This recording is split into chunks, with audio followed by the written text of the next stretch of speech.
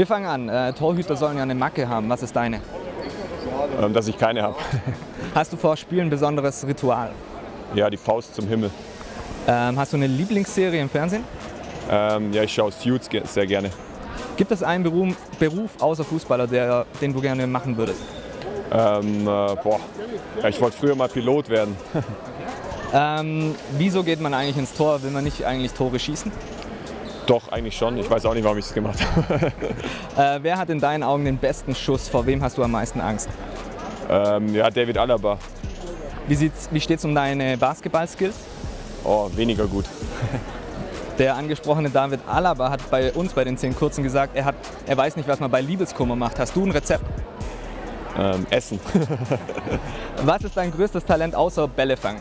ähm, äh, boah, was würde ich sagen?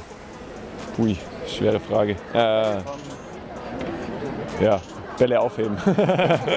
Was muss man machen, um dir richtig miese Laune zu verschaffen? ähm, äh, nicht ehrlich sein. Magst du zum Abschluss noch jemanden grüßen? Ich grüße alle, äh, die Fans vom FC Bayern München sind, vom Basketball und vom Fußball. Sehr gut. danke. Danke.